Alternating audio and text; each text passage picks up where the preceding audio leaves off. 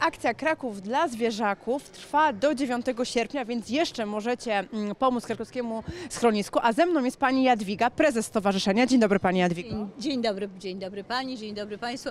Ja mówię tylko tyle, że my cały rok czekamy na takie akcje, więc właściwie ta akcja powinna trwać cały rok, ale ta zainicjowana przez Pana Prezydenta Miszalskiego, któremu jesteśmy bardzo oczywiście wdzięczni, rzeczywiście trwa do 9 sierpnia. Powiedzmy proszę, e, czy możemy już trochę podsumować tą akcję? Ile darów do was e, wpłynęło?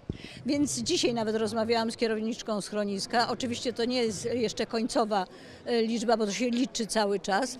Na 31 lipca wpłynęło do schroniska 4 tony 300, tysie, 300 kilogramów e, karmy. Mm, Z tym, że jest jeszcze bardzo dużo takich e, koców, posłań dla zwierząt, co jest też niesłychanie ważne, bo my z przyczyn finansowych nie możemy prać. W związku z tym po zużyciu musimy to, te rzeczy niszczyć.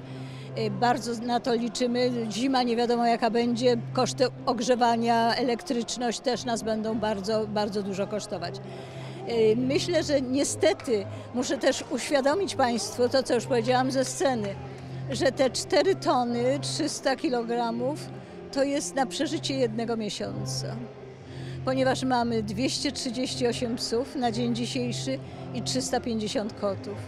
Także to jest bardzo duża ilość zwierząt, a my nie oszczędzamy na karmie, bo inaczej byśmy wydali na leczenie, jak to się mówi popularnie. Bardzo dziękujemy za rozmowę. Dziękuję bardzo. A Was zachęcamy, żeby wziąć udział cały czas w tej akcji. Punkty, gdzie możecie składać e, dary, e, znajdziecie na stronie kraków.pl w artykule Kraków dla zwierzaków.